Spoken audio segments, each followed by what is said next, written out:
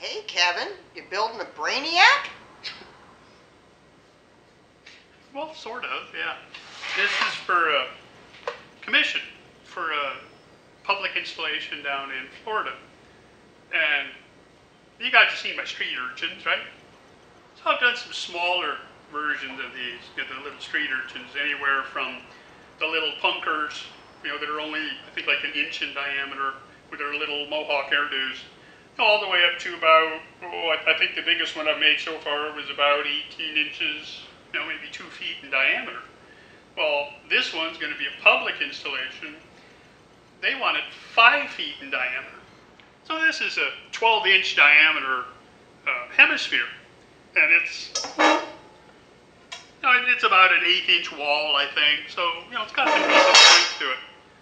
And before, with the little ones, what I would do is just cut up a bunch of, you know, round stock, roll the ends on the grinder just to smooth up the ends. So you don't have anything that's going to stab you if you put your hand on top of it, and just start welding. You know, if I need more, just cut more. Well, because these are going to be, you know, anywhere from about 24 inches to, no, I don't know, maybe about 18 inches long, each of these spines on here. Well, I need to do a little math and figure out just exactly how much I need to go buy instead of running down there and buying more and buying more and buying more. So I just called the steel yard and I said, you know, hey, I need, you know, about, you know, a one inch, uh, inch and a half, uh, you know, inch and three quarters, two inch, something like that. You know, what kind of steel do you have in stock? Looking for pipe. Looking for, you know, maybe about an eighth inch wall. So he read off what they had, and they have uh, one inch, inch and a quarter, and inch and a half in stock. So these are almost the right size. Of course, they measure on the inside of the of the hole saw rather than the outside. So, hole saw? What do you mean hole saw? What are those? Oh, well, these are hole saws. You know, these are for just cutting holes in steel, plastic, wood, whatever. But they're a really nice template. So I figured, well, okay, let me start with the big one. So I figured just, you know, set it up there, trace around with a pencil, you know, mark it somewhere else, mark it somewhere else, mark it somewhere else. Get a whole bunch of the inch and a halfs up there, you know, and then drop down one size. You know, fill in a little bit, you know, get a nice, a nice uh, collection of the next size down, and then go to the little guy and fill in where I can. So at least I'll have a pretty good idea of how much steel to go buy. So I came up with 31 of the inch and a halves and figuring two feet long on each, on every spine. They're not going to be that. I'll cut some of them shorter, but, but this way I have a little more than what I need. So I can always add a little because it's not, you know, all, they're not all crammed together touching one another. So I'll probably use a little more. But, you know, 31 and an inch and a half, two feet long, that's 80 feet. You know, that, that's the next step up buying in 20 foot sections from what it actually came out to. Uh, 51 of the inch and a halves and 40 of the one inches. So I need 80 feet, I need 120 feet of the inch and a half, and I need 100 feet of the inch. And I thought, well, okay, once I have my pipe, I can always, you know, orange peel it, where you cut little slices in it and then bend everything over, weld them all solid, grind them all down smooth. Or I can just get more hemispheres. You know, now, now this is a two inch, and I gotta go buy you know, the size that I need. But then I'll just weld those right to the tops of the pipes. Nice rounded over smooth edge. That way when it goes to the powder coater, everything will look just perfect. You know, it'll look very nice on there.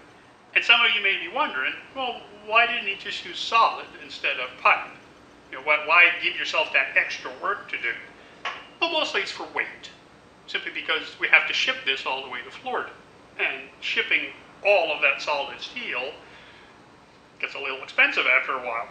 And, and the weight, I would I imagine, yeah, would be yeah, the, the weight would be exponentially higher. And I don't want to overload, if you will, this one hemisphere that's holding everything up.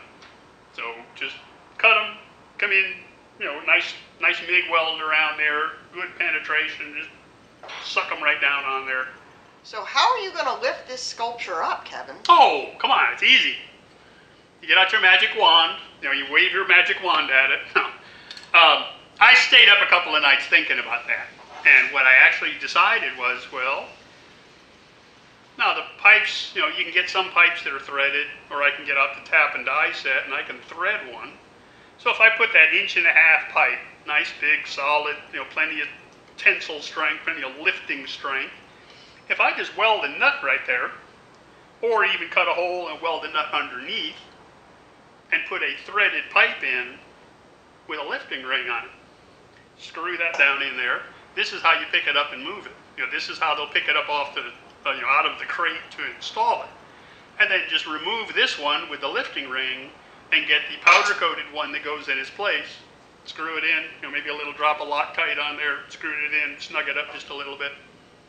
All done, easy. Well, that's how it looks on paper anyways. So, you know, now that I've got my shopping list, I'll just go call the steel yard and, and beg and plead, and they'll send a truck over with a whole bunch of pipe on the, on the back of it, and offload it all, bring it in, and get to work.